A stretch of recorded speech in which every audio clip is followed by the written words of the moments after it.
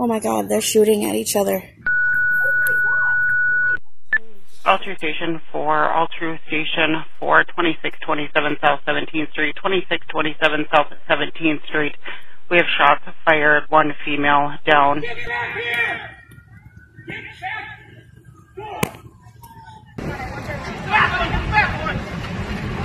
Oh shit.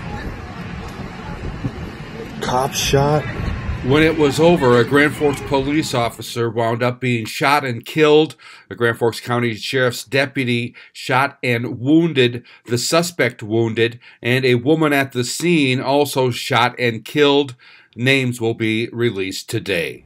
Deputies of the Grand Forks County Sheriff's Office attempted to serve an eviction-related paperwork upon Salamah Q. Pendleton, 41-year-old resident of this address in apartment number 303. During this service attempt, Salamah Pendleton initiated gunfire against deputies on scene.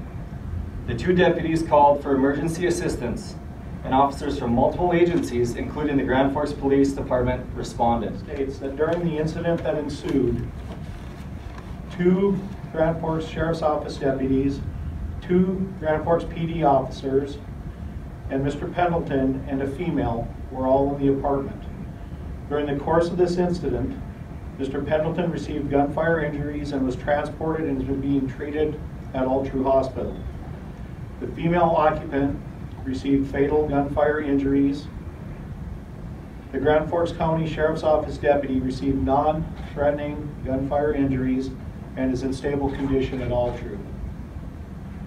Unfortunately, one Grand Forks PD officer received fatal gunfire injuries and did not survive. I want you to know that not only did the Grand Forks Police Department lose an officer, the city of Grand Forks lost a community member. The Grand Forks Sheriff's Office will never be the same based upon the injuries to their deputy and what he witnessed as our officer suffered his fatal injuries. Remember, it is not how this officer died, it is how this officer lived that made him a true hero.